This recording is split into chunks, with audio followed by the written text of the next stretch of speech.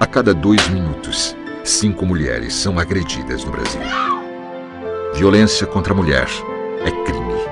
Denuncie. O Ministério Público quer ajudar você. Ligue 180. A Fundação Luzia Tejada apoia essa causa.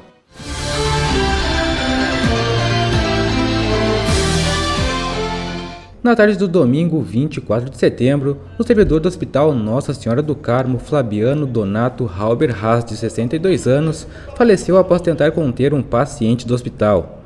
Conforme colegas de serviço e confirmado pela médica plantonista, Flaviano sofreu um infarto fulminante.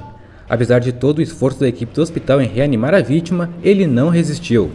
Flaviano, que teve o corpo sepultado na tarde desta segunda-feira, sempre foi muito querido pelos colegas, pela equipe do hospital e das empresas de segurança às quais trabalhou.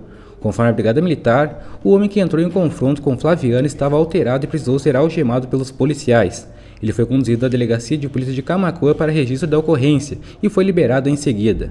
Ainda no domingo, o prefeito municipal decretou luta oficial de três dias em memória ao funcionário público.